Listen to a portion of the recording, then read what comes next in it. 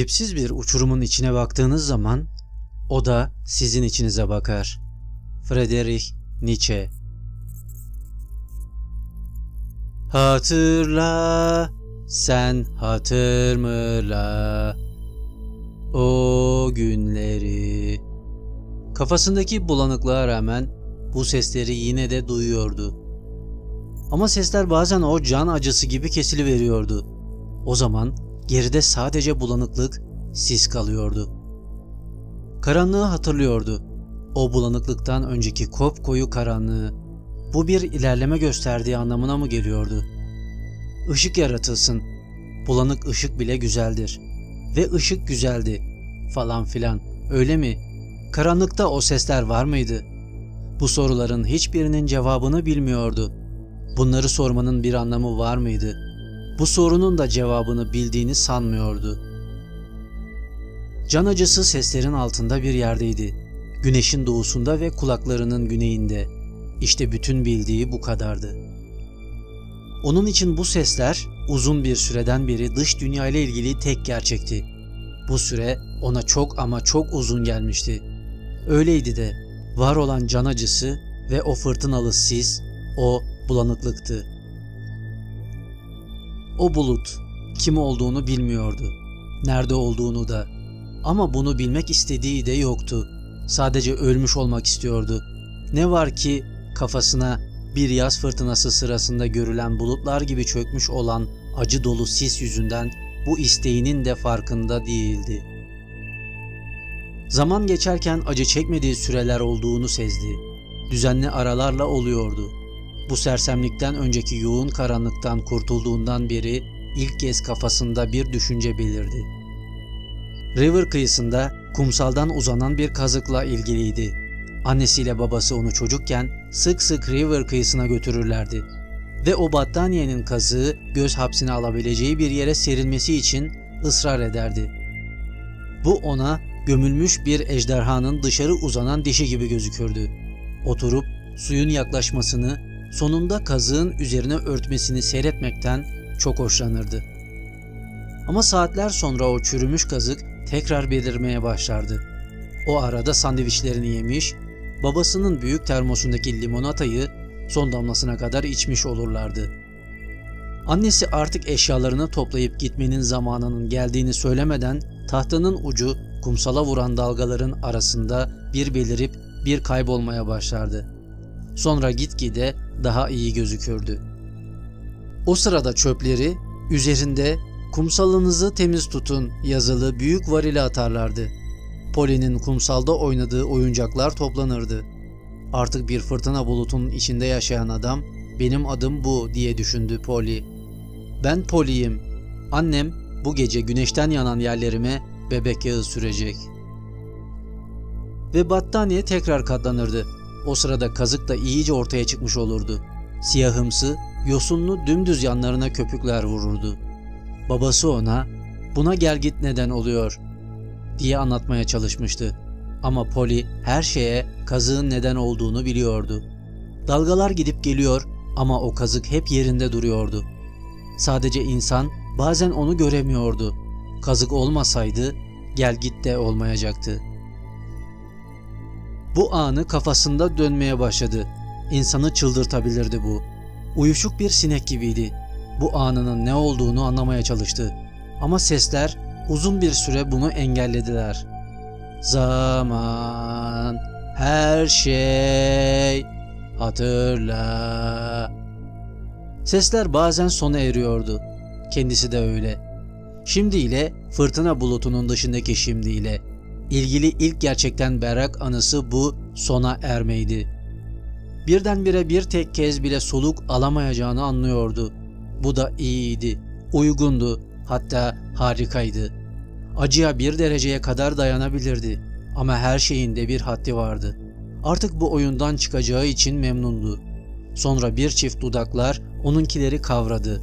Bu dudaklar kuru ve sertti ama yine de bir kadının ağzıydı. Ve kadının ağzından fışkıran rüzgar adamınkine doldu. Boğazından inerek ciğerini şişirdi. Sonra kadın dudaklarını çekti. Ve adam ilk kez o zaman gardiyanın kokusunu aldı.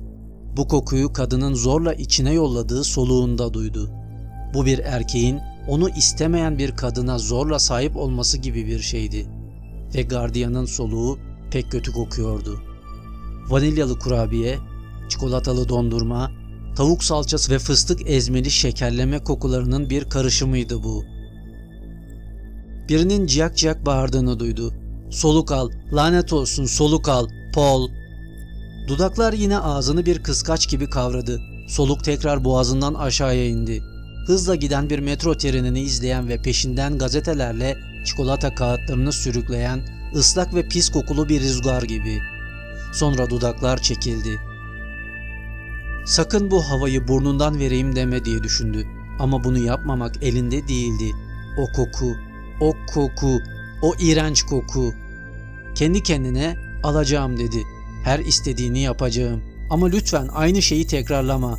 Mikroplarını bana bulaştırma. Gel gelelim soluk alamadan dudaklar yeniden ağzına yapıştı. Tuzlanmış deri şeritler kadar ölü ve kuru olan o dudaklar ve kadın yine onun ırzına geçiyormuş gibi soluğunu ciğerlerine gönderdi. Kadın dudaklarını çektiği zaman bu kez o pis soluğu vermedi. Aşağı doğru iterek derin bir soluk aldı. Havayı iyice içine çekti. Sonra soluk verdi ve göremediği göğsünün tekrar kabarmasını bekledi. Göğsü bütün ömrü boyunca ondan yardım beklemeden böyle yapmıştı. Ama göğsü kımıldamayınca yine inler gibi derin bir soluk daha aldı ve sonunda kendi kendine solumaya başladı. Elinden geldiğince hızlı soluyor, kadının içindeki tadını ve kokusunu atmaya çalışıyordu. Normal hava o zamana dek hiç bu kadar güzel gelmemişti. Kafası tekrar bulanmaya başladı. Karanlıklaşan dünya tümüyle ortadan kaybolmadan kadının öf diye mırıldandığını duydu. Az kalsın gidiyordun. Ama gitmedim diye düşünürken uykuya daldı. Rüyasında kazığı gördü. Bu öyle gerçek gibiydi ki neredeyse uzanacak ve avucunu çatlak tahtanın yaptığı yeşil siyah kavise sürecekti. Uyanıp yeniden yarı baygın haline döndüğü zaman son durumuyla o kazık arasında bir bağ kurdu. Birdenbire oldu bu. Can acısı kesilip kesilip tekrar başlamıyordu. Acısı o kazık gibiydi. Aslında bir ana olan rüyadan çıkan ders buydu. Can acısı sadece azalıp artıyormuş gibi gözüküyordu. Can acısı o kazık gibiydi. Bazen üzeri örtülüyor, bazen ortaya çıkıyordu. Ama hep vardı. Can acısı etrafını sarmış olan taş grisi bulutun arasında onu hırpalamadığı zaman sessiz bir minnet duyuyor ama kanmıyordu artık. Acı hala oradaydı ve geri döneceği anı bekliyordu. Ve bir değil iki kazık vardı. Can acısı o kazıklardı. Kafasının önemli bir bölümü gerçeği kavramadan çok önce beyninin bir noktası bunu anlamıştı. O parçalanmış kazıklar kendi kırık bacaklarıydı. Ama ancak uzun bir süre sonra dudaklarını birbirine yapıştırmış olan kuru tükürükleri parçalamayı ve kadına boğuk boğuk neredeyim diye sormayı başardı. Kadın başucunda oturuyordu. Elinde bir kitap vardı. Kitabın yazarının adı Paul Sheldon'dı. Bunun kendi adı olduğunu anımsadı ve hayret de duymadı. Kadın, Colorado'da dedi. Sidewinder'da. Adım Annie Wilkes ve ben... Paul, biliyorum diye mırıldandı. Sen benim bir numaralı okuyucumsun. Annie gülümsedi. Evet, gerçekten öyle. Karanlık. Sonra can acısı ve siz. Sonra azabın sürekli olduğunu ama zaman zaman endişeyle gömüldüğünü kavraması. İlk gerçek anı. Kadının pis kokulu soluğuyla ırzına geçerek onu hayata döndürmesi. Ondan sonraki gerçek anı kadının düzgün aralıklarla ağzına kapsüle benzer bir şeyler tıkması. Ama kadın ona su vermiyor ve haplar Pol'ün dilinin üzerinde kalıyordu. Eridikleri zaman ağzına şaşılacak kadar acılık bırakıyordu. Biraz aspirininkine benzeyen bir tat. Bu acılıktan kurtulmak için tükürmek iyi olacaktı. Ama böyle yapmaması gerektiğini biliyordu. Çünkü dalgaların kazığın üzerine örtmelerini o acılık sağlıyordu. Kazıklar, kazıklar, iki kazık. Pekala, iki kazık var. Tamam, artık sus. Şşş, şşş. ve bu tat sanki acısı sona ermiş gibi bir etki yapıyordu. Paul bütün bunları uzun aralıklarla düşündü. Ama can acısı azalmayıp aşınırken dış şeyler daha hızlı etki yapmaya başladı. Sonunda nesnel dünya bütün o anı tecrübe ve ön yargı yüküyle tekrar eski yerini aldı. O Paul Sheldon'dı. İki kez evlenmiş ve boşanmıştı. Fazla sigara içiyordu. Ya da bütün bunlardan önce öyleydi. Bu bütün bunlar neydi ise. Başına çok korkunç bir şey gelmişti ama hala yaşıyordu. O koku, kurşini bulut gitgide daha hızlı kaybolmaya başladı.